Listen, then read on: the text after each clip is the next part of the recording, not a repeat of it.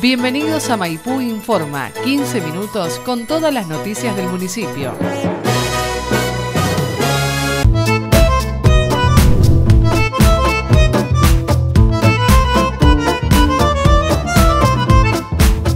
La subsecretaría viene trabajando en apoyo a que se formalice la Asociación de Apícolas eh, Maipuenses. Es una asociación eh, privada sin fin de lucro eh, en, el cual nosotros tratamos de aprovecharla en todo lo que sea este tipo de desarrollo de actividad. Por un lado con la, con la sala comunitaria que tiene el municipio, que funciona con un cobro mínimo de costo para aquellos productores chicos que quieran extraer la miel y, y fraccionarla, el municipio les brinda ese tipo de servicio. Eh, después de eso también, eh, como se ha hecho un grupo que está en continuo tratamiento entre la asociación y la secretaría, lo apoyamos también en el emprendimiento que ellos llevan siempre en la primer fin de semana de mayo, que este año es el 5 y 6 eh, de mayo de una expomiel que es un ámbito que logramos hacer para que, que se acerquen los grandes exportadores y todos aquellos eh, fabricantes de insumos de lo que es la actividad eh, de material vivo como reinas y genética especial y también la parte de cajones, eh, de media alza, instrumental que necesiten los apicultores, que generalmente tratamos de concentrarlo eh, en lo que es la cuenca del Salado. Eh, bueno, ya venimos por cuarta edición, así que continuamos apoyando este tipo de actividad, pues nos parece que es una actividad que tiene futuro a nivel de la cuenca del Salado. Bueno, acá en Maipú tenemos una, una asistencia oficial de RENAPA de 120 apicultores.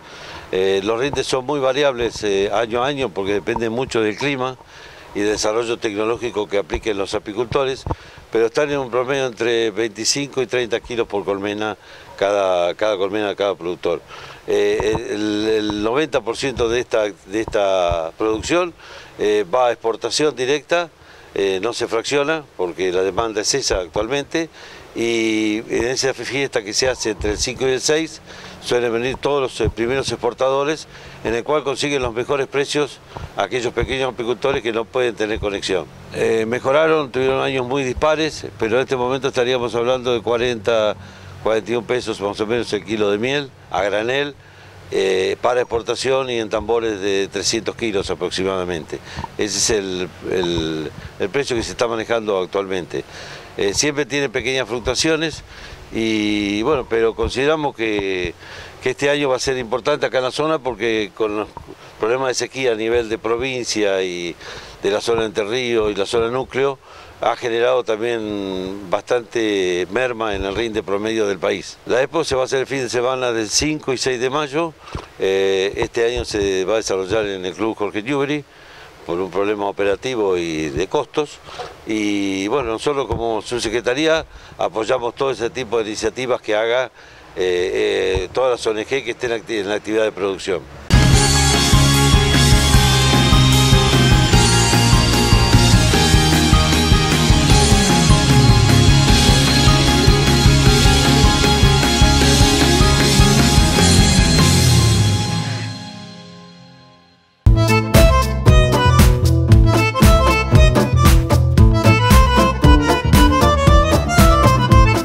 Una medida de, de, poder controlar, para poder controlar la población animal, es mediante la castración.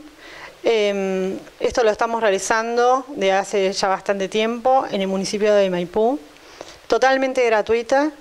Eh, todos los animales mayores de 6 meses de edad eh, deben ser castrados, tanto las hembras como los machos.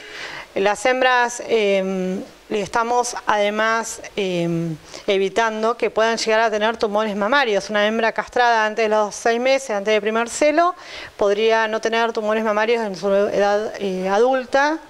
Eh, los machos también es beneficioso castrarlos porque eh, si tenemos dos machos y entre ellos se pelean, tienen pro problemas de comportamiento por dominancia, una vez que lo castramos, ese comportamiento eh, desaparecería porque tiene que ver con las hormonas sexuales. Eh, a ellos no les cambia su estado, eh, nosotros lo castramos y sigue siendo el que es dormilón, sigue siendo dormilón, el que es juguetón, sigue siendo juguetón. En eso no le va a afectar para nada su comportamiento la castración. Eh, los gatos, por ejemplo, cuando no castramos los gatos machos, ellos salen de paseo a buscar hembras, vuelven todos lastimados porque se pelean, porque son bastante territoriales. Cuando nosotros castramos esos animalitos, eh, dejan de tener este tipo de conducta. Además, la orina del macho tiene un olor particular porque eh, elimina hormonas para atraer las hembras. Con lo cual, cuando lo castramos, la orina del gato macho empieza a ser más suave en olor y bueno, no molesta tanto el olor del gato. Eh, además, evitamos accidentes porque cuando los perros están en su época de celo, están desesperados por salir y, bueno, y ocurren también accidentes en la calle, en la vía pública, con bicicletas, con motos, con autos. Así que es importante castrar.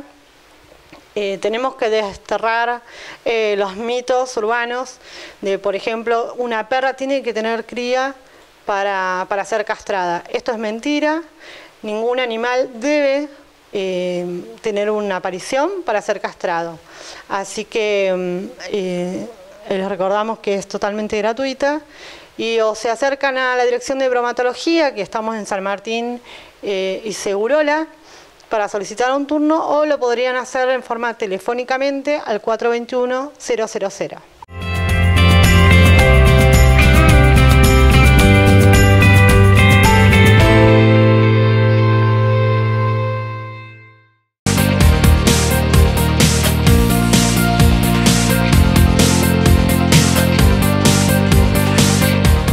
Nombre Ferreira Ángel Alberto, capataz de Espacios Verdes.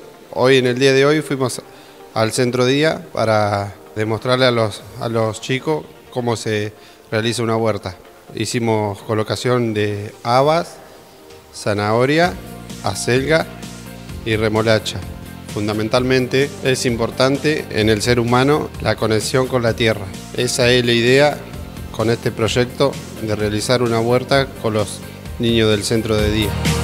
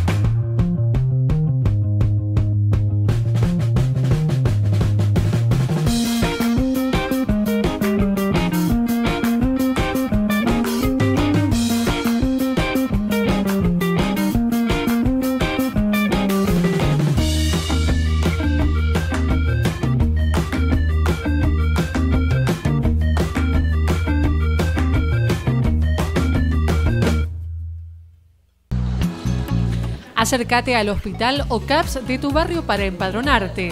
El empadronamiento es un moderno sistema de identificación de los pacientes que permite ordenar y agilizar el funcionamiento del hospital, haciéndolo mucho más eficiente.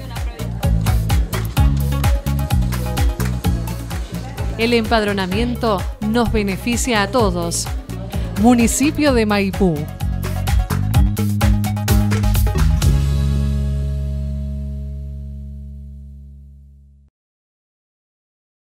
Edición de Expo Miel Maipú, la exposición más importante de la cuenca del Salado. Más de 100 expositores, ciclo de conferencias, ronda de negocios, espectáculos musicales, patio de comidas. 5 y 6 de mayo en Club Jorge Newbery, Ramos Mejía 640, Expo Miel Maipú, potenciando la apicultura, pensando en el futuro.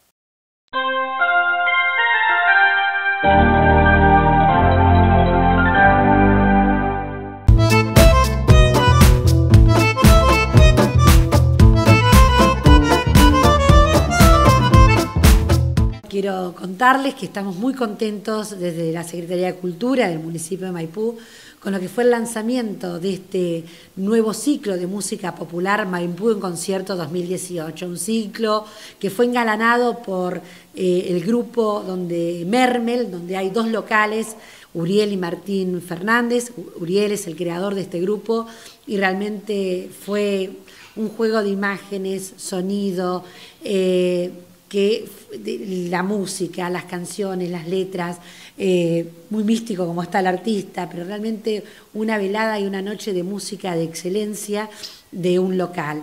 Así que contentos de poder abrir el ciclo con este grupo, con Mermel, y poder presentar quiénes lo sucederán en el escenario del Teatro de la Sociedad Italiana a Mermel en este ciclo de Maipú en concierto.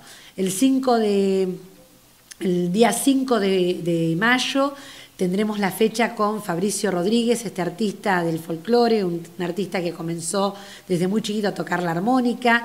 No cuento más, ya van a ir viendo los, adelantos. Luego tenemos una fecha de rock fuerte junto a Claudia Puyó, para todos los que le gusta el rock nacional. Después viene el mes de junio con dos fechas también muy importantes, una de folclore con Leonardo Miranda y otra de tango con el show que hace Andrea Guidone que se llama Madame Tango. Ella danza y hay un cantante de tango con otros bailarines y es todo un show tanguero para los tangueros maipuenses. Así que a sumarse a lo que va a ser este espectáculo de Andrea Guidone. Y en julio eh, tenemos una velada especial en el marco de lo que es el, el 9 de julio, esto va a ser el 7 de julio, un espectáculo de ópera, como ya venimos manteniendo el formato para el mes de julio con la ópera, pero en este caso son dos artistas del Teatro Argentino y del Teatro Colón de Buenos Aires. Es el caso de María José Dublín, que es la, soprano, que junto a su pareja, el barítono, van a hacer un espectáculo muy interesante que va desde la ópera clásica, eh, desde la ópera tradicional, con fragmentos de la ópera tradicional, a tema y repertorio nacional para, para también en, el género operístico, cantado por ellos, pero con eh, repertorio folclórico también nacional. Así que contentos con esto que nos va a preparar María José Dublín. Y en agosto llegamos con esta figura, esta gran negra que tenemos eh, en nuestro país, que es Deborah Dixon, que fue parte de, las Black and Blues, y bueno, nos trae todo el blues y el jazz para, bueno, eh, bastante dentro del teatro y, nutrirnos de, este género musical. Creo que, que va a ser un show genial, todos van a ser shows envolventes y no desaprovechar esta oportunidad que tenemos en un teatro centenario con una acústica increíble que se vive una mística hermosa entre el artista y el público. Es este, podemos producir este encuentro tan diferente a por ahí a un show grande, eh, al abierto, que también no deja de ser hermoso y lindo, pero acá se produce algo que, como digo, te viste internamente. No te desviste, sino te viste, te llena y salís con una satisfacción enorme. Y cerrando este ciclo, este año tenemos alguien de una trayectoria eh, muy amplia eh, en, el, también en el rock desde los 60, eh, rock pan pop, que es César Banana Poirredón. Y bueno, realmente contentos de poder tener esta figura cerrando el ciclo para todos los nostálgicos, para todos bueno, los que eh, pasaron sus días escuchando a Banana desde cuando empezó con su grupo a cuando se larga como solista y llenó sus tardes, sus noches, eh, esta música romántica que hace César Banana Pueyrredón. Así bueno, este es el despliegue que vamos a tener durante todo este ciclo 2018, que creo, espero que sea del gusto de todos, o si no es de todos, de quién puede acceder al artista. Acá la idea es acceder al género y a lo que nos gusta y disfrutarlo, sobre todo disfrutar, disfrutar como comunidad esta propuesta que la hacemos entre todos y juntos y, disfrutar y salir eh, llenos de música y de arte en estas noches. Así que bienvenidos a lo que fue la primera noche y a seguir siendo bienvenidos a cada noche de Maipú en Concierto 2018 un ciclo que es totalmente gratuito para todos los maipuenses, así que no tienen que reservar entrada, se hace por orden de llegada, se hace cola y bueno, y a medida que van llegando van ocupando sus lugares. Así que a aprenderse al ciclo, a invitar amigos, a contagiar los que van a otro para que también se contagie de lo que es este ciclo de música popular Maipú en Concierto 2018. municipio de Maipú. Maipú, sos vos.